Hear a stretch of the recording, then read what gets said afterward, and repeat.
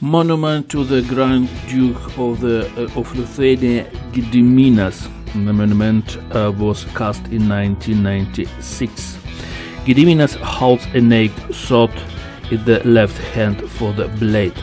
The monument can be called uh, equestrian, but the prince doesn't sit on the horseback but stands next to the horse.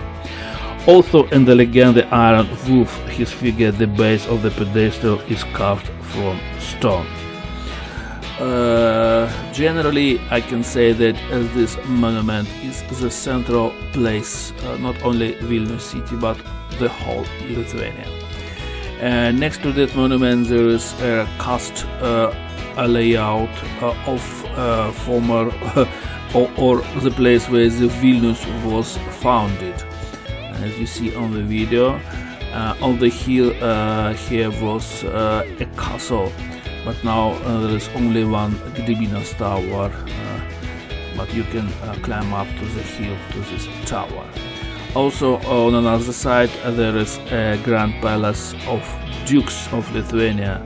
This building was destroyed by Russian authority in the end of 17th century and only in our days when Lithuania began independent country this building was rebuilt or reconstructed. Uh, to regret I didn't have time to visit this nice building, maybe some tourists can share their videos.